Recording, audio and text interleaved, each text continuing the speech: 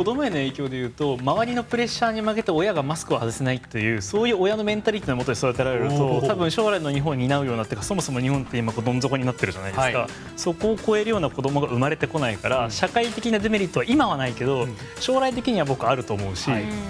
あとはそういうなんだろうマスクつけてないからってって白い目で見るみたいな、うん、そういう残念な人たちもいるわけじゃないですか。自由って言ってるのに、はい、なぜかというとそれ以外で誇るものは何もない人は、他人のたった一つの自分にない傷を見てあげつらって笑うぐらいしか生きてる間やることがないんですよ、そうですね。